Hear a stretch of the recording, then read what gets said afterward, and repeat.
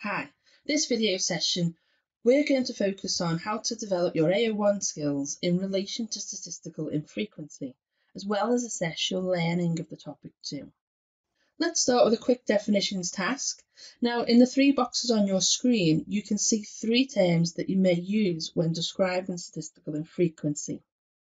Pause the video for two minutes whilst you write a definition for each of the terms. So let's see how you got on. The three definitions are on the screen now. We've got statistically infrequent, which as you hopefully know is a behaviour that does not occur very often in the general population. And then you have the two other definitions and you can compare your answers to the ones on the screen. And hopefully you wrote something similar yourself. Let's have another quick assessment of your AO1 knowledge of statistical infrequency. Take a look at the six statements on the screen and identify which of the statements are true and which of the statements are false. It's a good time to pause this video for two minutes whilst you make your decisions. You can work with a partner if one is available to you, but if not, we'll still compare our answers on the next slide. Hopefully you were able to make a decision for each of the six statements, but let's take a quick look at these together.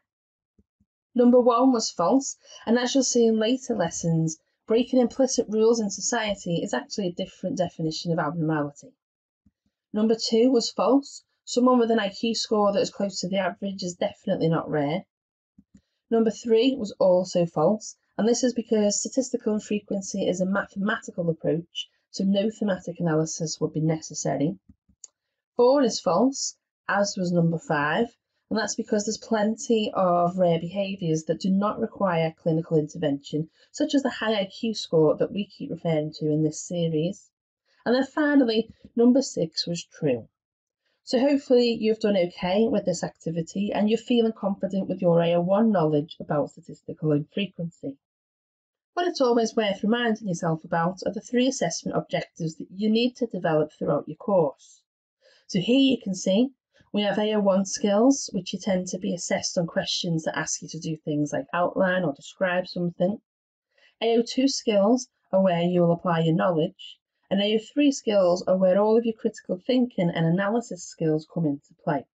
For AO1, you do need to be able to write about things like statistical infrequency coherently, in addition to just remembering some of the key facts. So here's a quick task that will help you to piece together all of the AO1 details about statistical infrequency. For this, you simply need to read and rearrange the points on the screen to form an outline of statistical infrequency that makes sense. Pause the video here for five minutes while you complete the task. You can do this with a partner if one is available to you. Hopefully you manage to get some of the structure right and you can compare your answer with those on the screen. Pause here if you want to take a closer look and compare your accuracy to the screen or compare your accuracy to a partner, again, if one is available. Okay, so one final assessment for you in this session. For this, you need to read the information and question on the screen and then write an answer to the question. And it's worth noting here that this question is assessing your AO1 skills by outline and your AO2 skills where it asks you to refer to the scenario. So pause here for five minutes while you read the question and write your response. So now you have your response, what you can do is check your answer against the suggested answer on the screen. You can see here that one mark will be awarded for the outline part of the question and the second mark for the application, which hopefully you spotted was the reference to 1 in 1,000 people who hoard. So the answer on the screen is broken up into two, and that's just so that you can see where each mark was awarded. So one definition of abnormality is statistical infrequency, and this suggests that any behaviour that is rare is abnormal. So that's going to get one mark. That's the outline part of the question. The scenario states that 1 in 1,000 people suffer from a hoarding disorder, which means that hoarding is statistically rare and therefore abnormal. And that's going to get the second mark that's available with the AO2 skills.